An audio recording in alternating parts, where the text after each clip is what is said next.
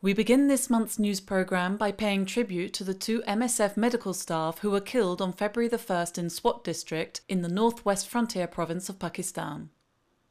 Riaz Ahmad, 24, and Nasir Ali, 27, were on their way to provide medical assistance to people injured during fighting when their ambulances came under fire. They were killed instantly. MSF has temporarily suspended its medical activities in this area.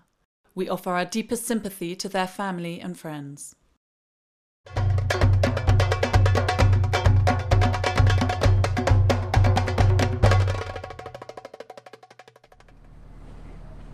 This patient was at home with his family when their house was bombed.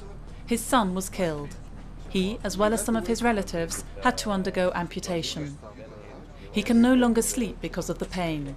He is going to be put under general anesthesia in order for surgeons to clean his wounds. The surgical team performs between five and eight operations a day in this temporary field hospital. Many of the wounded who had emergency surgery during the Israeli offensive today require a second operation.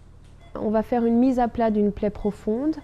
On peut repositionner un, un We treat deep wounds, reposition external fixators, and also perform skin grafts for patients who suffered burns. We also have patients who need dressings, dressings on severe wounds, which can only be done under general anesthesia. Otherwise, it's just too painful for the patients. Those are the operations we're performing orthopedics and plastic surgery.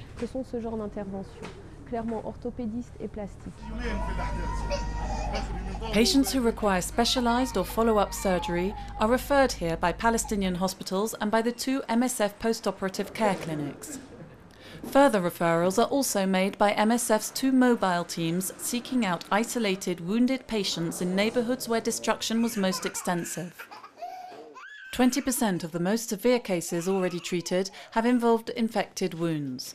They need to be tended to quickly to prevent the potentially fatal risk of tetanus and gangrene.